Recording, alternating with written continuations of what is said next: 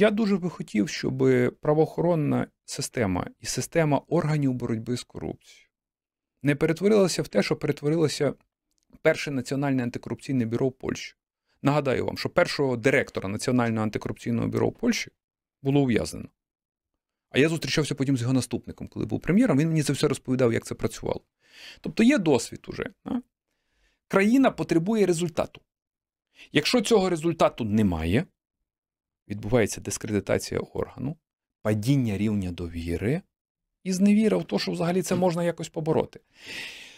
Е, Віталій, що я хочу додати? Що одними антикорупційними органами жодна країна не подолала корупцію. А що, ще- що ще потрібно? От давайте повернемося, наприклад, в 2014 рік. Ви добре пригадуєте про те, що у нас найбільша корупція де була? В енергетиці. Де в енергетиці? Газ Коли були компанії, фірташа. Повысили цены на газ и коррупцию. сам- Нужна политическая воля. Вы к этому І не ведете. тільки.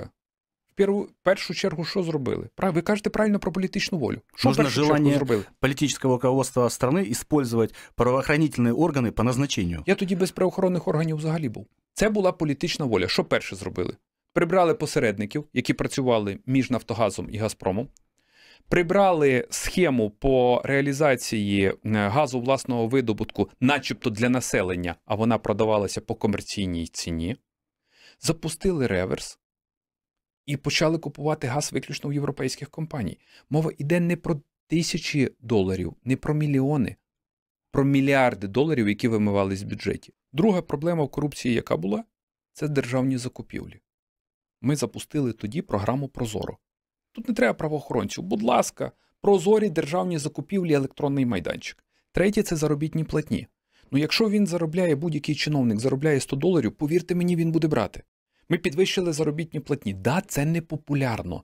Имейте в виду, вы устранили возможности для коррупции. Це те, що необхідно робити. Е, і тоді схема між е, stick and carrot, палка Да. і е, ем, е, заохочувальник, тоді вона працює. Приватизація державних компаній це реальна боротьба з корупцією. Демонополізація ринку це боротьба з корупцією. І, звичайно, державний примус. Ким є? Ан- Антикорупційне бюро, Національна поліція СБУ. Да.